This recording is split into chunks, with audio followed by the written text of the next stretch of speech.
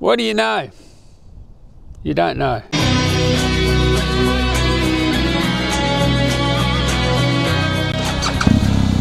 Oh, yeah, boxer. Tell the Odette Chanson, yes, the R13 GS. There has been problems, issues, lots of issues going on with that bike.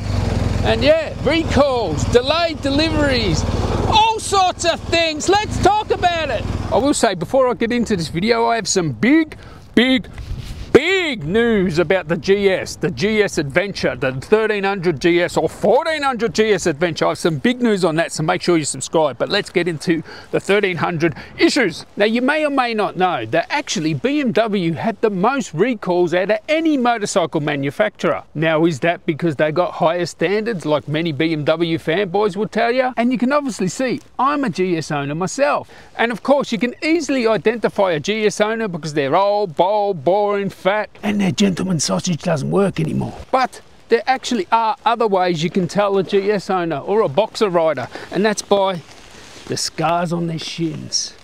Oh yes, beautiful boxer scars on your shins. That is one true way to identify a boxer owner. And yeah, nah, I'll accept the broken tib and fib in lieu of a scar to identify yourself as a GS owner. But the main way you identify a GS owner is here. This beautiful thing here.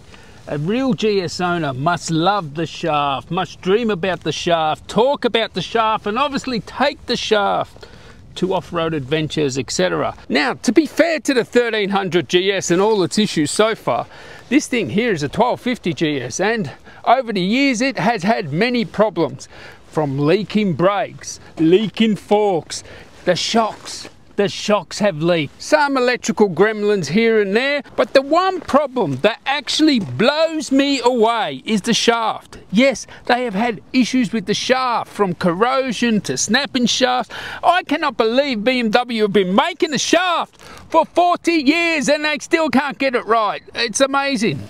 And frankly, to be fair, a lot of manufacturers have had a lot of issues with their bikes as well, but it seems to be the GS has quite a lot. And you need to remember that these things here, they sell a ton of these. They sell 60,000 a year, 60,000 compared to say Ducati that sell 10,000 Multistradas. So you would expect six times the problems.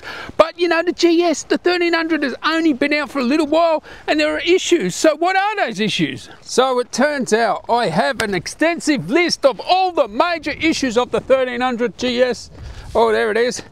So let's go through them all. And remember, I check all these things because when I bought this bike, I've done all the research on all the common faults of all the bikes.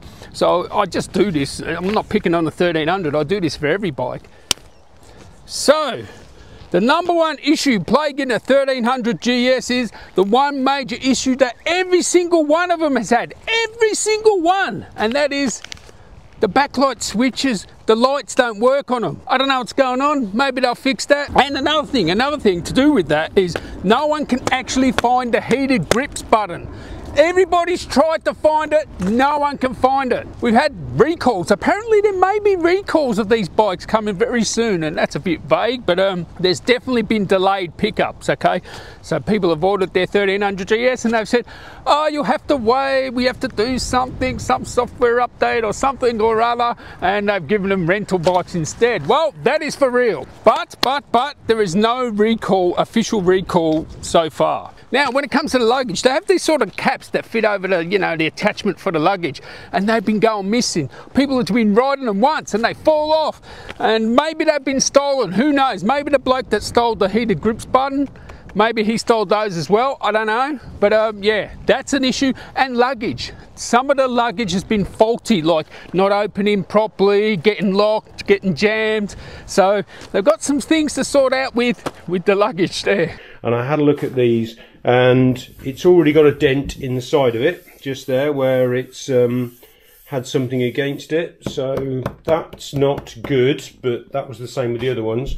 The problem is it's central locking and as the central locking works, this one, for whatever reason, will not lock. So that is uh, like that all the time. And this one is locked all the time and I can't get it to unlock. Some people have actually raised like quality control issues. Like they're saying that the stickers, they feel very raised. Now, maybe they're all raised now. I don't know, but um, they seem to be very pronounced compared to the 1250 GS. So have a look at the stickers. You know, if it looks anything looks untoward there, maybe go, oh, is it supposed to be like this? Maybe just ask the question. Maybe they're all like that now. I don't know, but um, people have mentioned those stickers being a bit raised there and the quality of the stickers that are on the Enduro. so, what am I saying? I'm hoping that um, the one I've ordered, these just don't look that good. The, the fit and finish of the bike, I don't think, is as good as the 1250. I think they've um, they've gone off on a mission to save some money. Now, I got all these from forums, from actually uh, 1300 GS owners, some from Facebook and forums and stuff like that. And they're talking about the EMS or EMC or whatever it is, the computer of the actual bike itself that's been playing up and maybe they have to do a software update for that. So I don't know what that is. Maybe it's something to do with the gearbox because I'm going to talk about the gearbox now. First of all, some people have had leaky gearbox seals. So we're talking about oil seals at the rear of the gearbox. So where the gearbox connects to the shaft, there's been some leaks there. Now, this is going to be like a really bad issue. Like, it's not a major issue, it's an easy fix. You fix the seal, right? But the problem is, if you get a leaky one, right, you're going to replace it with the same seal. So you just got to cross your fingers and hope, oh, hope this seal works until they actually, you know, build a new seal or do something to it where it fixes it permanently. You may be in a few times getting those seals fixed. So, uh, yeah, look out for that. And the biggest major issue I have seen the only real, you know, showstopper that makes you think, ooh, this ain't quite right, because all the rest are just minor sort of stuff, is gearbox problems. Gearbox problems. It may be related to that software update for the computer management there. I don't know, but someone has actually returned their bike. I'll leave a link to it in the description to that forum, that forum post where the guy's taken it in three times and they haven't fixed his gearbox issue. You know, the shifting issue, maybe it's computer. I don't know what they're doing if they're just replacing the oil in the you know the system there. I don't know but he hasn't had that issue sorted out. So there may be a replacement for that guy's bike. Now that may be an isolated incident. We don't know because these bikes have just come out. But you know all in all considering you know they sell pretty well these bikes. Um not many, there's only one, two, three, four, five, six, seven, eight, nine, nine, nine issues that I've got. I haven't gone through all of them, but um, nine issues. Some of them are just minor. Like, not many, don't worry about it.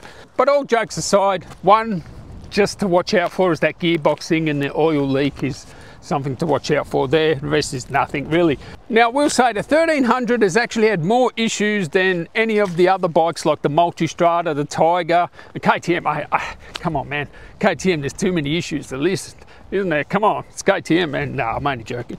But um, seriously, like the Tiger 1200 and the Multistrada haven't had that many issues compared to the 1300 that's come out, you know, only a few months ago and has had more issues than say the Multistrada or the Tiger. Now the Tiger had some, you know, need the clutch bleeded, uh, some, you know, minor uh, software, you know, updates. The Multistrada needed software updates. They had dodgy engines in the first batch of Multistradas due to a supply issue. But they had something wrong with the valve guides or something and it was a supply issue and they fixed that. But other than that, the Multistrada is mostly electrical issues and what, they had to uh, bleed the clutch on the 1200 Tiger and some software stuff and just minor stuff really. Um, you got to think that the 1300 that's all pretty minor as well. So apart from that gearbox one, which we'll watch watch out for that one and a leak, a, a leaky seal, man. That's that's terrible because you may be replacing that many times and it may be a thing that happens like three years down the track so yeah. Anyway I thought I'd share that video. Come on man. Planes all the time now. Fuck I miss COVID now I will say Stay tuned for more stuff to come. I can't wait to ride the 1300. It's raining a bit and there's kangaroos out. I better get home before the kangaroos come out. It's getting, the light's getting low now. It's getting into dusk and that's when the roos come out. The boomers, we call them boomers. And yeah, catch you next one guys. Tally ho. I better go this way. Better get my camera. Camera. Oh yeah, boxer. Boxer glory die, die, die Boxer.